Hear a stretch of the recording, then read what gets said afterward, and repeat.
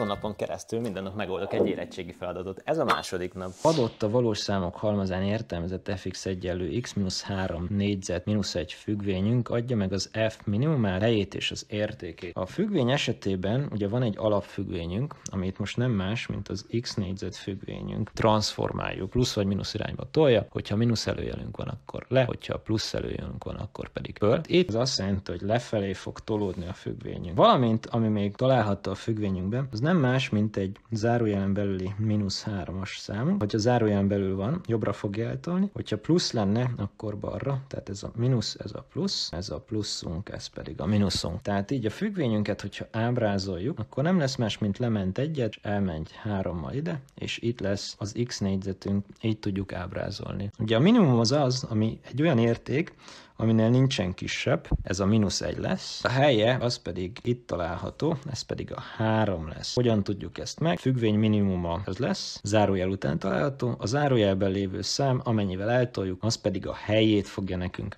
megadni. Két extra mód, hogy bebiztosíthatod velem a matek érettségét. A Genius Guide útmutatom által a teljes matek tudásodat ilyen lehet, kevesebb, mint egy mozi egy áráért. Plusz áprilisban lesz egy háromnapos matek érettségi intenzív felkészítőnk, amin az összes témakört begyakoroljuk. Megtanítunk okosan használni a számológépet, megmutatjuk azokat a trükköket, amikkel egyszerűen tudsz pontokat szerezni, és még azt is megmutatjuk, hogy hogyan nevezsz a négyegyűben. Csekkod a linket a leírásomban, majd elfelejtettem. A Matek Maratonhoz kapcsolódóan minden héten küldöm egy témához a legtudibb tipjeimet. Ha nem akarsz róla lemaradni, akkor iratkozz fel ezen a linken, vagy a leírásomban lévőn.